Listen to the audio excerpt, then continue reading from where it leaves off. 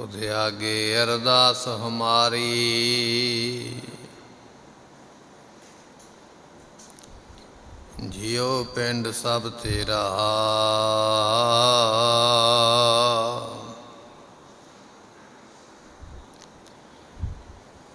ਕਹੋ ਨਾਨਕ ਸਭ ਤੇਰੀ ਵਡਿਆਈ। ਕੋਈ ਨਾਉ ਨ ਜਾਣੈ ਮੇਰਾ।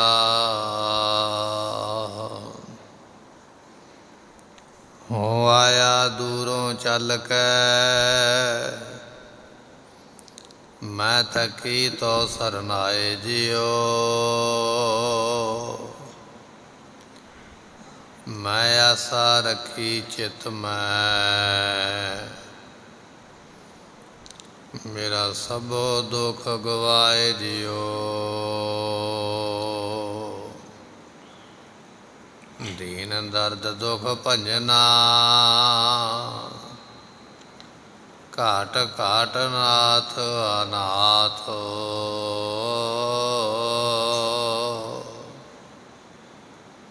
ਸਰਨ ਤੁਮਾਰੀ ਆਇਓ। ਨਾਨਕ ਕੇ ਪ੍ਰਭ ਸਾਥ ਸੁਖਾਉ ਟਲ ਗੁਰ ਸੇਵੀਐ ਐਨਸ ਸਹਿਜ ਸੁਭਾਏ। ਦਰਸ਼ਨ ਪਰਸਿਐ ਗੁਰੂ ਕੈ ਜਨਮ ਮਰਨ ਦੁਖ ਜਾਏ। ਹੋਵੈ ਸਿਫਤ ਗਸਮਦੀ ਨੂਰ ਅਰਸੋਂ ਕੁਰਸੋਂ ਛਟੀਐ ਤੁਧ ਡਿਠੇ ਸੱਚੇ ਪਾਤਸ਼ਾਹ। ਮਰ ਜਨਮ ਜਨਮ ਦੀ ਕੱਟੀਐ। ਤੁਧ ਡਿਠੇ ਸੱਚੇ ਪਾਤਸ਼ਾਹ। ਮਲ ਜਨਮ ਜਨਮ ਦੀ ਕਟਿਐ।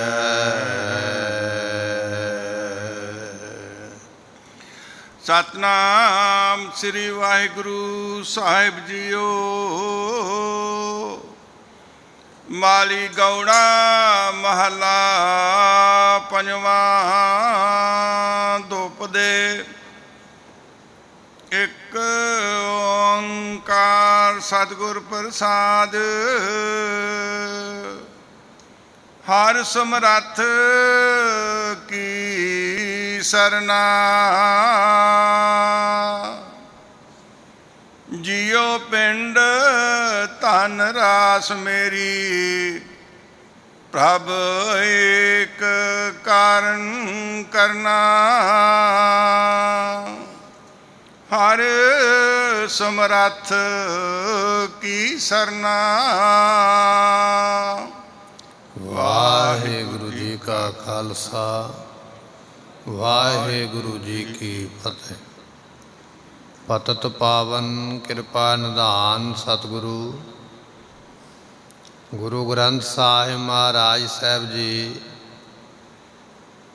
ਗੁਰੂ ਗੋਬਿੰਦ ਸਿੰਘ ਮਹਾਰਾਜ ਜੀਆਂ ਦੇ ਬਚਨ ਭਾਈ ਹਰ ਸਿੰਘ ਨੇ ਲਿਖੇ। ਸਤਿਗੁਰੂ ਜੀ ਹਜ਼ੂਰ ਸਾਹਿਬ ਦੀ ਧਰਤੀ ਤੇ ਕਹਿਣ ਲੱਗੇ, ਸਭ ਸਿੱਖਣ ਕੋ ਹੁਕਮ ਹੈ। ਗੁਰੂ ਮਾਨਿਓ ਗ੍ਰੰਥ।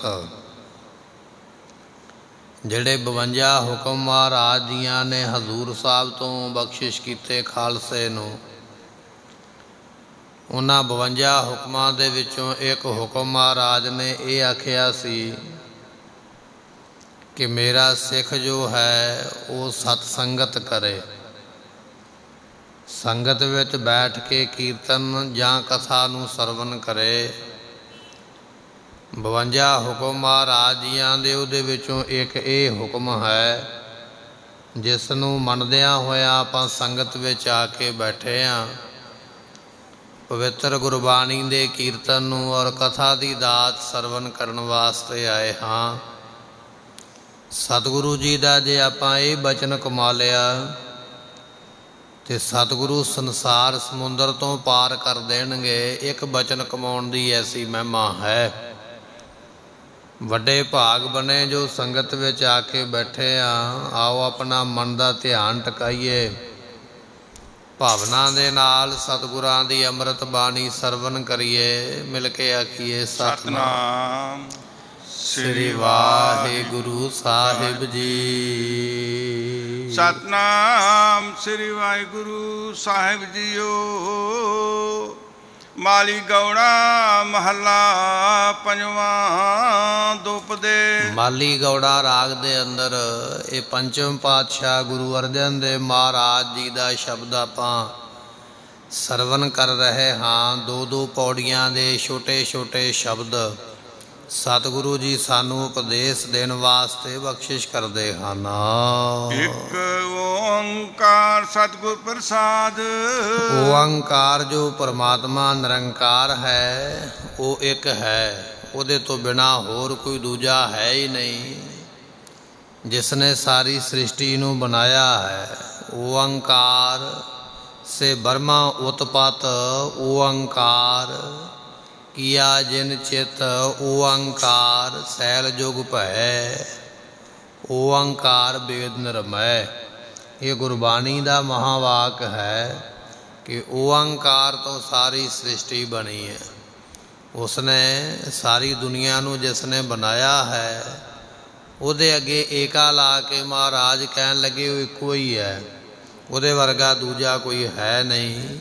ਤੇ ਸਤਿਗੁਰ ਪ੍ਰਸਾਦ ਐਸੇ ਪ੍ਰਮਾਤਮਾ ਦੀ ਜੇ ਪ੍ਰਾਪਤੀ ਕਰਨੀ ਚਾਹੁੰਦਾ ਹੈ ਗੁਰੂ ਕਿਆ ਸਿੱਖਾ, ਤੇ ਫਿਰ ਤੈਨੂੰ ਗੁਰੂ ਦੀ ਪ੍ਰਸੰਨਤਾ, ਗੁਰੂ ਦੀ ਖੁਸ਼ੀ ਲੈਣੀ ਪਵੇਗੀ।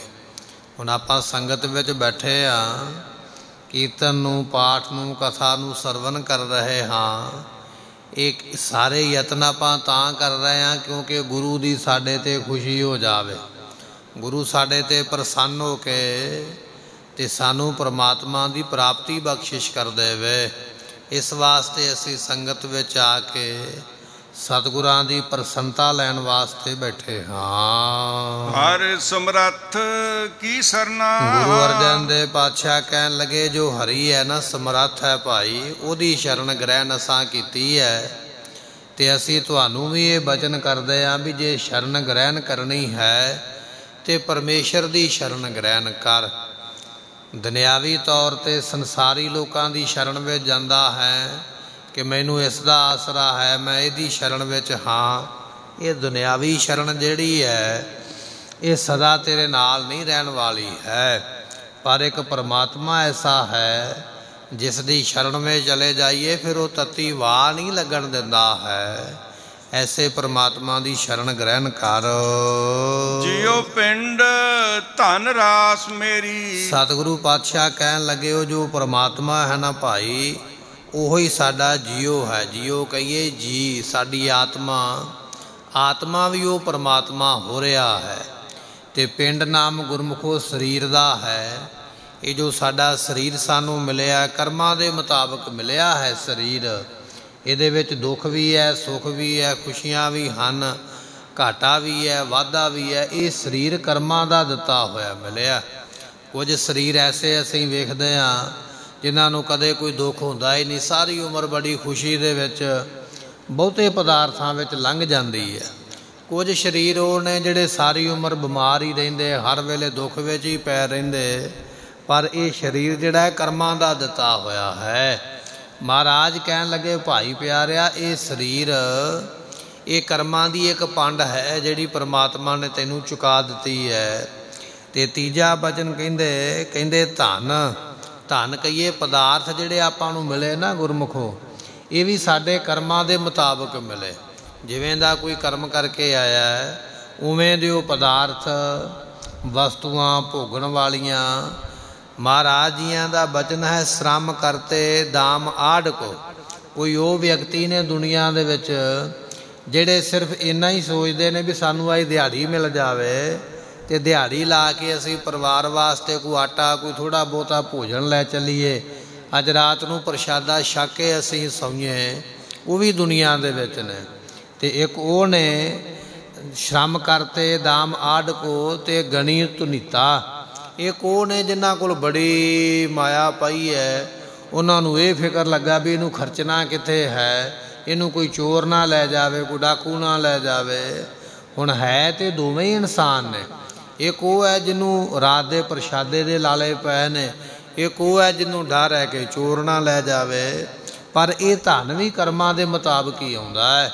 ਮਹਾਰਾਜ ਕਹਿਣ ਲੱਗੇ, ਇੱਕ ਨਿਹਾਲੀ ਪੈ ਸਵਨ, ਇੱਕ ਉੱਪਰ ਰਹਿਣ ਖੜੇ। ਜਿਹੜਾ ਪਲੰਗ ਦੇ ਉੱਪਰ ਸੁੱਤਾ ਹੈ, ਉਹ ਵੀ ਇਨਸਾਨ ਹੀ ਹੈ।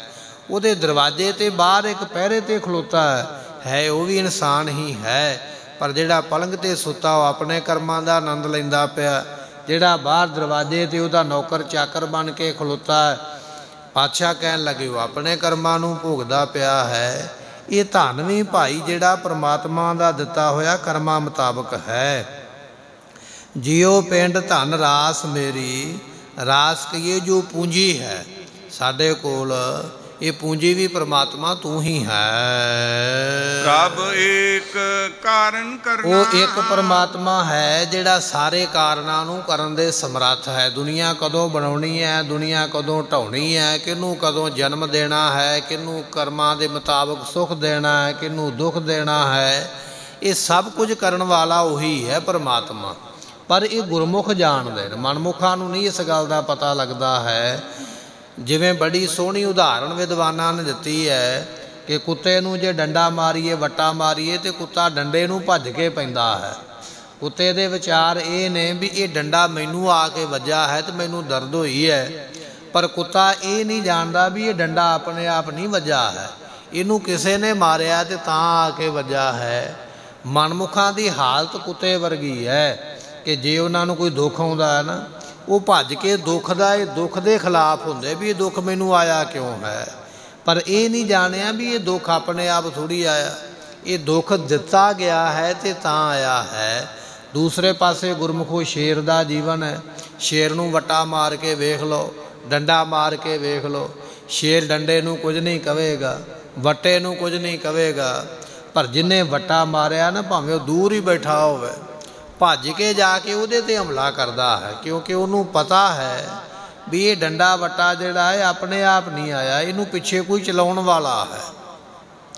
ਸੋ ਜਿਨੇ ਚਲਾਇਆ ਹੈ, ਉਹ ਉਸ ਦੇ ਤੱਕ ਪਹੁੰਚ ਕਰਦਾ ਹੈ। ਗੁਰਮੁਖਾਂ ਦਾ ਜੀਵਨ ਐਸਾ ਹੈ, ਗੁਰਮੁਖ ਜਾਣਦੇ ਨੇ ਇਹ ਦੁੱਖ, ਇਹ ਸੁੱਖ, ਇਹ ਆਪਣੇ ਆਪ ਨਹੀਂ ਆਇਆ ਹੈ, ਇਹਨੂੰ ਦੇਣ ਵਾਲਾ ਪਿੱਛੇ ਬੈਠਾ ਪਰਮਾਤਮਾ। ਉਹ ਫਿਰ ਪਰਮਾਤਮਾ ਤੱਕ ਪਹੁੰਚ ਕਰਦੇ, ਦੁਨਿਆਵੀ ਲੋਕਾਂ ਵੱਲ ਨਹੀਂ ਵੇਖਦੇ ਹਨ।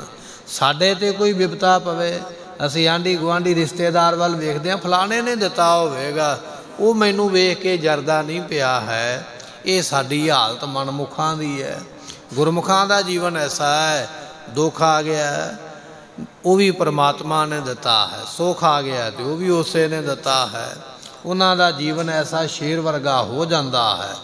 ਰੋ ਵਿਚਾਰ, ਪ੍ਰਭ ਏਕ ਕਾਰਨ ਕਰਨਾ ਇੱਕ ਪਰਮਾਤਮਾ ਹੈ ਜਿਹੜਾ ਸਾਰੇ ਕਾਰਨਾਂ ਨੂੰ ਕਰਦਾ ਹੈ ਜਿਹੜਾ ਸਾਰਿਆਂ ਨੂੰ ਸਭ ਕੁਝ ਦਿੰਦਾ ਹੈ। ਰਹਾਉ ਸਿਮਰ ਸਿਮਰ ਸਦਾ ਸੁਖ ਪਾਈਐ। ਮਹਾਰਾਜ ਕਹਿਣ ਲੱਗੇ ਭਾਈਓ ਜੋ ਪਰਮਾਤਮਾ ਹੈ ਨਾ ਉਹਦਾ ਸਿਮਰਨ ਕਰਕੇ ਹਮੇਸ਼ਾ ਸੁਖ ਮਿਲਦਾ ਹੈ।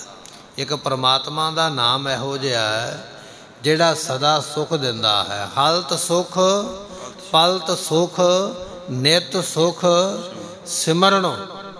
ਦੁਨੀਆ ਦੇ ਵਿੱਚ 36 ਲੱਖ ਮੰਤਰ ਨੇ ਪਰ ਉਹ ਜਿਹੜੇ 36 ਲੱਖ ਮੰਤਰ ਨੇ ਨਾ, ਉਹ ਉਸਤਾਦ ਦੇ ਕੋਲ ਬੈਠ ਕੇ ਉਹਨਾਂ ਦਾ ਜਾਪ ਕੀਤਾ ਜਾਂਦਾ ਹੈ। ਜੇ ਮੰਤਰ ਦਾ ਜਾਪ ਗਲਤ ਹੋ ਗਿਆ ਤਾਂ ਮੰਤਰ ਪੁੱਠੇ ਪੈ ਜਾਂਦੇ। ਦੁਖਦਾਈ ਵੀ ਹੋ ਜਾਂਦੇ। ਕੋਈ ਸਵਿਆਂ ਵਿੱਚ ਖੜ ਕੇ, ਕੋਈ ਚੁਰਾਏ ਵਿੱਚ ਖੜ ਕੇ, ਕੋਈ ਪਾਣੀ ਵਿੱਚ ਖੜ ਕੇ, ਕੋਈ ਅੱਗ ਬਾਲ ਕੇ ਉਹਦੇ ਦਿਵਾਲੇ ਖੜਾ, ਕੋਈ ਅੱਧੀ ਰਾਤ ਨੂੰ। ਲੋਕ ਮੰਤਰਾਂ ਦਾ ਜਾਪ ਕਰਦੇ, ਪਰ ਨਾਲ ਡਰ ਵੀ ਹੈ ਵੀ ਇਹ ਕਿਤੇ ਪੁੱਠਾ ਨਾ ਪੈ ਜਾਵੇ, ਦੁੱਖ ਨਾ ਦੇਵੇ। ਪਰ ਪ੍ਰਮਾਤਮਾ ਦੇ ਨਾਮ ਦਾ ਸਿਮਰਨ ਇਹੋ ਜਿਹਾ ਭਾਵੇਂ ਦੁਪਹਿਰਾ ਹੈ, ਭਾਵੇਂ ਅੱਧੀ ਰਾਤ ਹੈ, ਭਾਵੇਂ ਤੁਰਿਆ ਜਾਂਦਾ ਹੈ, ਭਾਵੇਂ ਬੈਠਾ ਹੈ, ਜਦੋਂ ਮਰਜ਼ੀ ਉਹਦਾ ਜਾਪ ਕਰ ਲੈ। ਤੇ ਕੀ ਮਿਲੇਗਾ? ਪਾਤਸ਼ਾਹ ਕਹਿਣ ਲੱਗੇ, ਹਾਲਤ ਸੁਖ, ਐਸ ਲੋਕ ਦਾ ਸੁਖ ਮਿਲ ਜਾਏਗਾ। ਪਲਤ ਸੁਖ, ਪਰਲੋਕ ਦਾ ਸੁਖ ਵੀ ਮਿਲ ਜਾਏਗਾ। ਨਿਤ ਸੁਖ ਸਿਮਰਨੋ। ਪਰਮਾਤਮਾ ਦਾ ਨਾਮ ਸਿਮਰੇਗਾ ਸੁਖ ਮਿਲੇਗਾ। ਸਿਮਰ ਸਿਮਰ ਸਦਾ ਸੁਖ ਪਾਈਐ। ਉਸ ਨੂੰ ਯਾਦ ਕਰਕੇ ਹਮੇਸ਼ਾ ਸੁਖ ਮਿਲਦਾ ਹੈ। ਜੀਵਨੇ ਕਾ ਮੂਲ। ਉਹ ਪ੍ਰਮਾਤਮਾ ਨਾਮ ਜੀਵਨੇ ਦਾ ਮੂਲ ਕਾਰਨ ਅਰਥਾਤ ਕਹੀਏ ਮੁੱਢ ਹੈ। ਉਹ ਪਰਮਾਤਮਾ ਦਾ ਨਾਮ ਤੇਰੇ ਜੀਵਨ ਦਾ ਮੁੱਢ ਹੈ। ਰਵ ਰਹਿਆ ਸਰਬਤ ਠਾਈ। ਉਹ ਪਰਮਾਤਮਾ ਸਾਰਿਆਂ ਥਾਵਾਂ ਤੇ ਰਵਿਆ ਹੋਇਆ ਹੈ। ਕੋਈ ਇਹੋ ਜੀ ਜਗ੍ਹਾ ਹੈ ਹੀ ਨਹੀਂ ਜਿੱਥੇ ਉਹ ਪਰਮਾਤਮਾ ਨਾ ਹੋਵੇ। ਸਾਰਿਆਂ ਥਾਵਾਂ ਤੇ ਸੂਖਮ ਸਥੂਲ ਰੂਪ ਸਾਰੀਆਂ ਜਗ੍ਹਾ ਤੇ ਨਿੱਕੀ ਤੋਂ ਨਿੱਕੀ ਸ਼ੈ ਦੇ ਵਿੱਚ ਵੀ ਬੈਠਾ ਹੈ ਵੱਡੀ ਤੋਂ ਵੱਡੀ ਵਿੱਚ ਵੀ ਬੈਠਾ ਹੈ। ਸਾਰਿਆਂ ਥਾਵਾਂ ਤੇ ਸੁਭਾਇਮਾਨ ਹੈ। ਸੂਖਮੋ ਅਸਥੂਲ। ਉਹ ਪ੍ਰਮਾਤਮਾ ਜੋ ਹੈ ਭਾਈ ਕਹਿਣ ਲੱਗੇ ਸੂਖਸ਼ਮ ਥਾਵਾਂ ਤੇ ਸਥੂਲ ਥਾਵਾਂ ਤੇ ਬੈਠਾ ਹੋਇਆ ਪਰਿਪੂਰਨ ਹੋ ਰਿਹਾ ਇਸੇ ਤਰ੍ਹਾਂ ਜਿਹੜੇ ਸੂਖਮ ਸਰੀਰ ਨੇ ਛੋਟੇ ਛੋਟੇ ਸਰੀਰ ਨੇ ਉਹਨਾਂ ਵਿੱਚ ਵੀ ਬੈਠਾ ਹੈ। ਜਿਹੜੇ ਸਥੂਲ ਸਰੀਰ ਵੱਡੇ ਵੱਡੇ ਨੇ ਉਹਨਾਂ ਵਿੱਚ ਵੀ ਉਹ ਬੈਠਾ ਹੈ। ਉਹ ਸਾਰਿਆਂ ਥਾਵਾਂ ਤੇ ਸੁਭਾਇਮਾਨ ਹੈ। ਐਸਾ ਉਹ ਪਰਮਾਤਮਾ ਹੈ। ਆਲ ਜਾਲ ਬਿਕਾ ਤਜ। ਇਸ ਕਰਕੇ ਮਹਾਰਾਜ ਕਹਿਣ ਲੱਗੇ ਆਲ ਨਾਮ ਗੁਰਮੁਖੋ ਘਰ ਦਾ ਹੈ। ਜਿਹੜੇ ਘਰ ਦੇ ਜਾਲ ਨੇ ਨਾ ਧੰਦੇ ਮਹਾਰਾਜ ਕਹਿਣ ਲੱਗੇ ਇਹਨਾਂ ਨੂੰ ਛਾੜੇ ਧੰਦੇ ਨਹੀਂ ਉਹ ਮੁਕਣੇ ਕਦੇ ਵਾਸਤੇ। ਸਾਡਾ ਵਿਚਾਰ ਹੁੰਦਾ ਹੈ ਨਾ ਮੈਂ ਛੇਤੀ ਨਾਲ ਘਰ ਦੇ ਕੰਮ ਕਰ ਲਵਾਂ ਫਿਰ ਮੈਂ ਵਿਹਲਾ ਹੋ ਜਾਵਾਂਗਾ। ਵਿਹਲਾ ਕਿੰਨਾ ਕੁ ਚਿਰ ਹੋਵਾਂਗਾ? 1 ਘੰਟਾ 2 ਘੰਟੇ। ਸ਼ਾਮ ਨੂੰ ਫਿਰ ਉਸੇ ਤਰ੍ਹਾਂ ਹੀ ਕੰਮ ਧਰੇ ਪਏ ਨੇ ਕਰਨ ਵਾਸਤੇ। ਘਰ ਦੇ ਵਿੱਚ ਰਹਿਣ ਵਾਲੇ ਜੀ ਮਾਈਆਂ ਬੀਬੀਆਂ ਕਹਿਣ ਲੱਗੇ ਛੇਤੀ ਨਾਲ ਚੁੱਲ੍ਹੇ ਚੌਂਕੇ ਦਾ ਕੰਮ ਨਿਬੇੜੀਏ। ਫਿਰ ਵਿਹਲੀਆਂ ਹੋ ਕੇ ਆਰਾਮ ਕਰਾਂਗੀਆਂ। ਪਰ ਵਿਹਲਾ ਕਿੰਨਾ ਕੁ ਚਿਰ ਹੋਣਾ ਹੈ? 1 ਘੰਟਾ 2 ਘੰਟੇ ਸ਼ਾਮ ਦੇ ਕੰਮ ਫਿਰ ਉਸੇ ਤਰ੍ਹਾਂ ਹੀ ਬਣੇ ਪਏ। ਮਹਾਰਾਜ ਕਹਿਣ ਲੱਗੇ, ਇਹ ਜਿਹੜਾ ਘਰ ਹੈ ਨਾ, ਇਹਦੇ ਜੰਜਾਲ ਕਦੇ ਮੁੱਕਦੇ ਹੀ ਨਹੀਂ। ਭਾਵੇਂ ਤੂੰ ਦਿਨੇ ਕੰਮ ਕਰਦਾ ਰਹਿ ਰਾਤ ਕਰਦਾ ਰਹਿ ਸਾਰੀ ਉਮਰ ਕਰਦਾ ਰਹਿ। ਕਦੇ ਵੀ ਜੰਜਾਲ ਮੁੱਕਦੇ ਨਹੀਂ। ਆਲ ਜਾਲ ਵਿਕਾਰ ਇਹ ਜਿਹੜਾ ਘਰ ਹੈ ਇਹਦੇ ਜੰਜਾਲ ਮੁੱਕਣੇ ਨਹੀਂ ਪਰ ਤੈਨੂੰ ਛੱਡਨੇ ਪੈਣਗੇ। ਛੱਡੇਗਾ ਮੁਕਤ ਹੋਵੇਂਗਾ ਬਚਨੇ ਮੰਨਣਾ ਪਵੇਗਾ ਅਵਰ ਕਾਜ ਤੇਰੇ ਕਿਤੈ ਨਾ ਕਾਮ। ਬਚਨੇ ਮੰਨਣਾ ਪਵੇਗਾ ਜਨਮ ਬਿਰਥਾ ਜਾਤ, ਰੰਗ ਮਾਇਆ ਕੈ, ਇਹ ਬਚਨ ਮੰਨਣਾ ਪਵੇਗਾ। ਪਾਤਸ਼ਾਹ ਕਹਿਣ ਲੱਗੇ, ਆਲ ਜਾਲ, ਜਿਹੜੇ ਆਲ ਘਰ ਦੇ ਜੰਜਾਲ ਨੇ, ਇਹ ਸਾਰੇ ਵਿਕਾਰਾਂ ਰੂਪ ਨੇ। ਘਰ ਦਿਆਂ ਕੰਮਾਂ ਵਿੱਚੋਂ ਵਿਕਾਰ ਪੈਦਾ ਹੁੰਦਾ। ਕਿਤੇ ਉਹ ਮੋਹ ਪੈਦਾ ਹੁੰਦਾ ਕਿਤੇ ਉਹ ਇਸੇ ਤਰ੍ਹਾਂ ਲੋਭ ਪੈਦਾ ਹੁੰਦਾ ਕਿਤੇ ਹੰਕਾਰ ਵੀ ਆ ਜਾਂਦਾ ਕਿ ਮੇਰੇ ਵਰਗਾ ਘਰ ਕਿਸੇ ਦਾ ਨਹੀਂ ਸੋਹਣਾ ਹੈ। ਮੈਂ ਬੜਾ ਸੋਹਣਾ ਇਸ ਨੂੰ। ਬਣਾਇਆ ਹੈ। ਮੈਂ ਥਾਂ ਪਰ ਥਾਂ ਬੜੀਆਂ ਚੀਜ਼ਾਂ ਰੱਖੀਆਂ ਹੋਈਆਂ। ਇਹ ਘਰ ਦੇ ਕੰਮ ਵੀ ਕਹਿੰਦੇ ਵਿਕਾਰ ਪੈਦਾ ਕਰਨ ਵਾਲੇ ਹਨ। ਆਲ ਜਾਲ ਵਿਕਾਰ ਤਜ ਸਭ। ਜਾਂ ਆਪਾਂ ਇਸ ਤਰ੍ਹਾਂ ਕਹਿ ਲਈਏ ਘਰ ਦੇ ਜੰਜਾਲ ਤੇ ਛੱਡਦਾ ਪਿਆ ਨਾਲ ਜਿਹੜੇ ਵਿਕਾਰ ਨੇ ਨਾ ਵਿਕਾਰ ਵਿਕਾਰਾਂ ਨੂੰ ਵੀ ਛੱਡਦੇ। ਇਹ ਵਿਕਾਰ ਵੀ ਤੈਨੂੰ ਬੰਨ ਕੇ ਜਿਵੇਂ ਘਰ ਦੇ ਕੰਮ ਬੰਨ ਕੇ ਰੱਖਦੇ ਐਸੇ ਤਰ੍ਹਾਂ ਵਿਕਾਰ ਵੀ ਬੰਨ ਕੇ ਬੰਦੇ ਨੂੰ ਰੱਖਦੇ ਨੇ। ਜਿਵੇਂ ਇੱਕ ਬਜ਼ੁਰਗ ਹੈ ਨਾ, ਮਹਾਰਾਜ ਕਹਿਣ ਲੱਗੇ, ਬਜ਼ੁਰਗਾ, ਨਾਮ ਜਪਿਆ ਕਰ। ਕਹਿਣ ਲੱਗਾ, ਮਹਾਰਾਜ, ਨਾਮ ਤੇ ਜਪਾਂ, ਪਰ ਕੰਮ ਕੌਣ ਕਰੇਗਾ? ਮੇਰੇ ਬਿਨਾ ਤੇ ਕੰਮ ਕਰਦਾ ਨਹੀਂ ਕੋਈ। ਇਹ ਮੈਂ ਹੀ ਪੁੱਤਰਾਂ ਨੂੰ ਵਾਜਾਂ ਦੇ ਦੇ ਕੇ ਨੋਹਾਂ ਧੀਆਂ ਨੂੰ ਵਾਜਾਂ ਦੇ ਦੇ ਕੇ ਕੰਮ ਤੇ ਲਾਉਂਦਾ ਹਾਂ। ਜੇ ਮੈਂ ਆਵਾਜ਼ ਨਾ ਦੇਵਾਂ, ਇਹ ਤੇ ਸੁੱਤੇ ਹੀ ਰਹਿਣਗੇ, ਕੰਮ ਹੀ ਕੋਈ ਨਹੀਂ ਕਰਨਗੇ।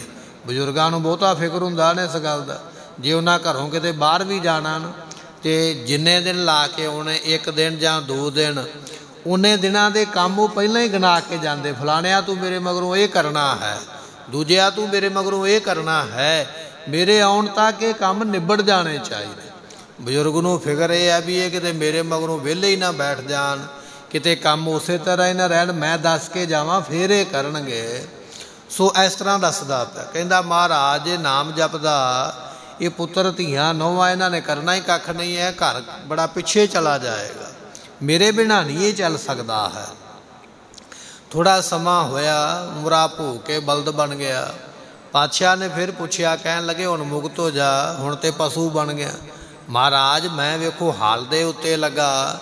ਮੈਂ ਜ਼ਮੀਨ ਵਾਹੁੰਦਾ ਹਾਂ, ਫਿਰ ਮੇਰੇ ਬੱਚੇ ਦਾਣੇ ਬੀਜਦੇ, ਫਿਰ ਫਸਲਾਂ ਪੈਦਾ ਹੁੰਦੀਆਂ। ਫਿਰ ਘਰ ਵਿੱਚ ਰਿਜਕ ਜਾਂਦਾ ਹੈ। ਜੇ ਮੈਂ ਹੀ ਨਾ ਹੋਵਾਂਗਾ ਤੇ ਹਲ ਕੌਣ ਵਾਵੇਗਾ? ਲੰਮੀ ਸਾਖੀ ਬਣਾਈ ਹੈ ਵਿਦਵਾਨਾਂ ਨੇ ਸਮਝਾਉਣ ਵਾਸਤੇ। ਜ਼ਰੂਰੀ ਨਹੀਂ ਹੈ ਕਿ ਮਹਾਰਾਜ ਵਾਰ-ਵਾਰ ਉਹਦੇ ਕੋਲ ਗਏ ਨੇ, ਕੇਵਲ ਸਿੱਖਿਆ ਹੈ ਵੀ ਮਨੁੱਖ ਇਸ ਤਰ੍ਹਾਂ ਜਨਮਾਂ ਵਿੱਚ ਪੈ ਜਾਂਦਾ ਹੈ, ਪਰ ਫਿਰ ਵੀ ਮੋਹ ਨਹੀਂ ਛੱਡਦਾ ਹੈ।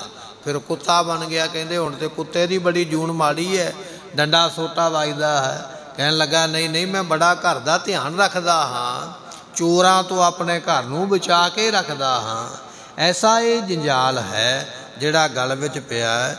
ਪਾਤਸ਼ਾਹ ਕਹਿਣ ਲੱਗੇ, ਜੰਜਾਲ ਤੇ ਵਕਾਰ ਜਿਹੜੇ ਨੇ ਇਹਨਾਂ ਨੂੰ ਦੂਰ ਕਰ ਦੇਣਾ ਕਰ। ਹਰ ਗੁਣਾ ਨਿਤ ਗਾਓ। ਤੇ ਹਰੀ ਹਰ ਪਰਮੇਸ਼ਰ ਦੇ ਗੁਣ ਜਿਹੜੇ ਨੇ ਉਹ ਨਿਤਾ ਗਾਉਣੇ ਚਾਹੀਦੇ। ਕਈ ਵਾਰੀ ਅਸੀਂ ਇਹ ਸਵਾਲ ਵੀ ਕਰ ਦਿੰਦੇ ਹਾਂ ਗੁਰੂ ਗ੍ਰੰਥ ਸਾਹਿਬ ਦੀ ਬਾਣੀ ਵਿੱਚ ਸਾਡੇ ਸਾਰੇ ਸਵਾਲਾਂ ਦਾ ਹੀ ਜਵਾਬ ਹੈ। ਅਸੀਂ ਕਈ ਵਾਰੀ ਪੁੱਛਦੇ ਆਂ ਵੀ ਨਿਤਨੇਮ ਕੀਤਾ ਹੈ ਫਲਾਣਾ ਪਾਠ ਕੀਤਾ ਹੁਣ ਕਰਨ ਦੀ ਲੋੜ ਤੇ ਨਹੀਂ ਨਾ ਦੁਬਾਰਾ ਇੱਕ ਵਾਰੀ ਕਰ ਲਿਆ। ਮਹਾਰਾਜ ਕਹਿਣ ਲੱਗੇ ਹਰ ਗੁਣਾ ਨਿਤ ਗਾਓ ਰੱਬ ਦੇ ਗੁਣ ਨਿਤਾ ਹੀ ਗਾ। ਗੁਣ ਗਾਵਾਂ ਦਿਨ ਰਾਤ, ਭਾਵੇਂ ਦਿਨ ਹੈ, ਭਾਵੇਂ ਰਾਤ ਹੈ, ਉਹਦੇ ਗੁਣ ਹਰ ਵੇਲੇ ਗਾਈ ਚੱਲ, ਤੇਰੀ ਉਮਰਾ ਬੜੀ ਥੋੜੀ ਹੈ, ਉਹਦੇ ਗੁਣ ਬਹੁਤੇ ਨੇ। ਇਸ ਕਰਕੇ ਉਹਦੇ ਗੁਣਾਂ ਨੂੰ ਬਹੁਤਾ ਗਾਉਣਾ ਕਰ। ਕਰ ਜੋੜ ਨਾਨਕ ਦਾਨ ਮੰਗਾ। ਪਾਤਸ਼ਾਹ ਕਹਿਣ ਲੱਗੇ ਹੱਥ ਜੋੜ ਕੇ ਦਾਨ ਹੀ ਮੰਗਦੇ ਆ ਪਰਮਾਤਮਾ ਸਾਡੇ ਤੇ ਕਿਰਪਾ ਕਰ।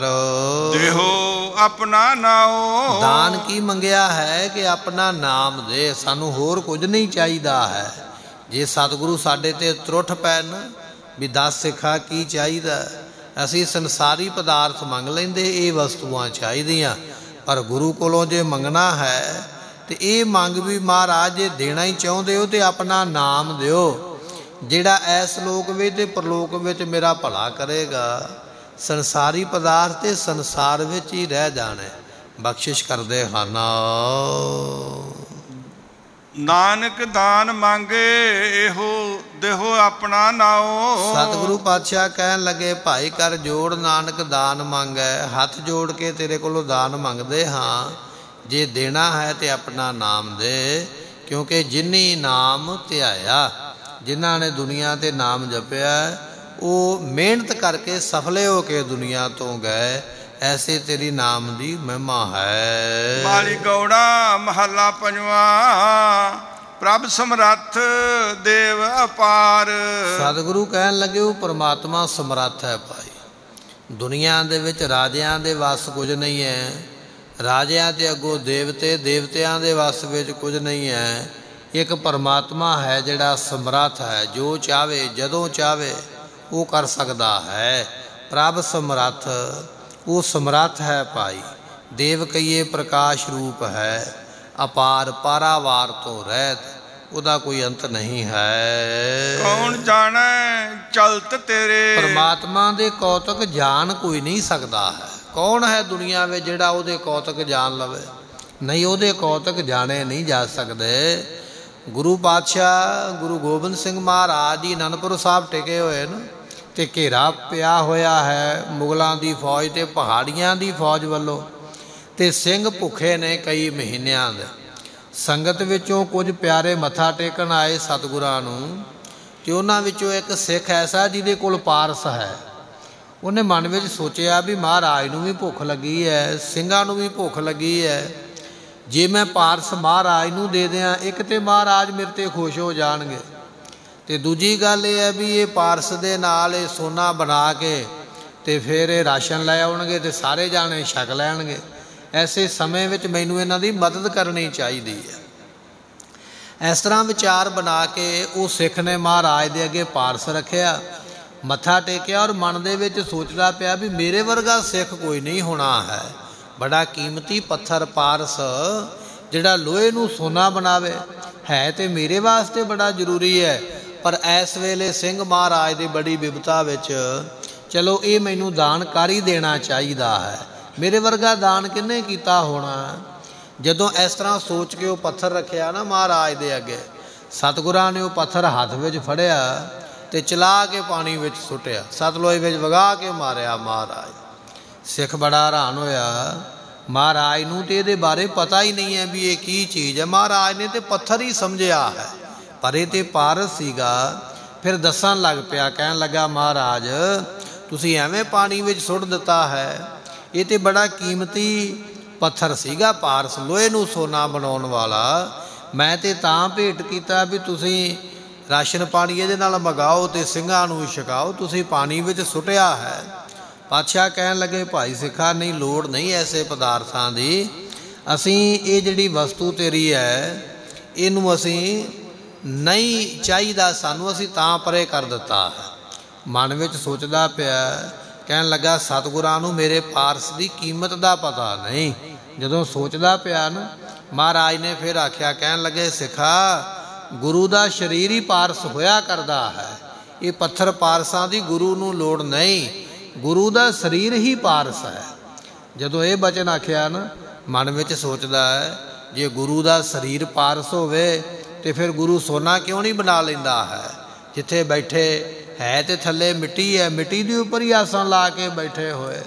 ਜੇ ਵਾਕਿਆ ਹੀ ਗੁਰੂ ਪਾਰਸ ਹੈ, ਮਿੱਟੀ ਨੂੰ ਸੋਨਾ ਕਰ ਲਵੇ।